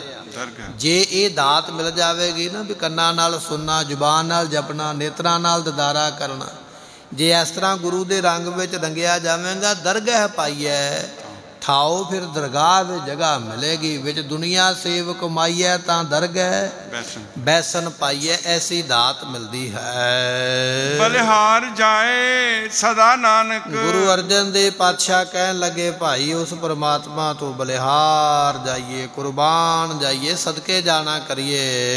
ਦੇਹੋ ਆਪਣਾ ਨਾਓ ਸਤਿਗੁਰੂ ਆਪਣਾ ਨਾਮ ਦਿਓ। ਗੁਰਬਾਣੀ ਦੇ ਵਿੱਚ ਗੁਰੂ ਗ੍ਰੰਥ ਸਾਹਿਬ ਮਹਾਰਾਜ ਦੇ ਵਿੱਚ ਜਗਾ ਜਗਾ ਤੇ ਨਾਮ ਮੰਗਣ ਦੀ ਗੱਲ ਹੈ, ਨਾਮ ਜਪਣ ਦੀ ਗੱਲ ਹੈ, ਕਿਉਂਕਿ ਇਹਦੇ ਬਿਨਾ ਨਾ ਕੋਈ ਦੁਨੀਆ ਤੋਂ ਕੁਝ ਨਾਲ ਜਾਣਾ ਹੈ, ਨਾ ਹੀ ਆਪਾਂ ਲੈ ਕੇ ਜਾ ਸਕਦੇ ਹਾਂ, ਨਾ ਹੀ ਇਹ ਦੁਬਾਰਾ ਕਦੇ ਮੌਕਾ ਮਿਲਣਾ ਹੈ।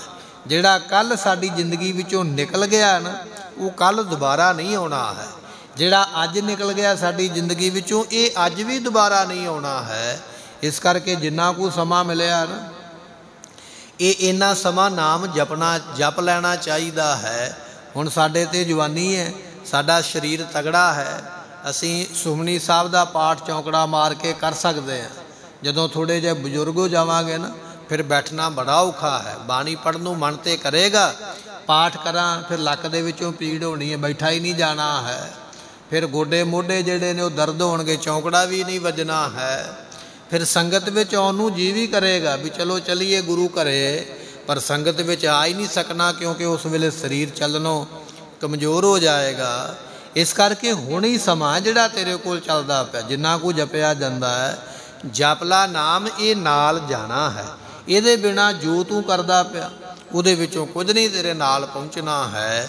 ਇਹ ਗੁਰੂ ਪਾਤਸ਼ਾਹ ਮਹਾਰਾਜ ਕਹਿਣ ਲੱਗੇ, ਬਲਿਹਾਰ ਜਾਏ ਸਦਾ ਨਾਨਕ, ਦੇਹੋ ਆਪਣਾ ਨਾਓ ਮੈਨੂੰ ਆਪਣੇ ਨਾਮ ਦੀ ਦਾਤ ਬਖਸ਼ਿਸ਼ ਕਰੋ। ਇਥੇ ਗੁਰੂ ਅਰਜਨ ਦੇਵ ਮਹਾਰਾਜ ਜੀਆਂ ਦੀ ਬਾਣੀ ਸੰਪੂਰਨ ਹੋਈ ਹੈ। ਕੱਲ ਨੂੰ ਆਪਾਂ ਭਗਤਾਂ ਦੀ ਬਾਣੀ ਸਰਵਣ ਕਰਾਂਗੇ। ਧੰਨ ਧੰਨ ਉਹ ਰਾਮ ਬੇਨ ਬਾਜੈ ਮਦਰ ਮਦਰ ਧੁਨ ਅਨਹਦ ਗਾਜੈ। ਇਹ ਸ਼ਬਦ ਭਗਤ ਨਾਮਦੇਵ ਜੀ ਦਾ, ਭਗਵਾਨ ਕ੍ਰਿਸ਼ਨ ਜੀਆਂ ਨੂੰ ਉਹਨਾਂ ਨੇ ਸਨਮੁਖ ਰੱਖ ਕੇ ਸਿਫਤ ਵਾਲੇ ਬਚਨ ਕੀਤੇ।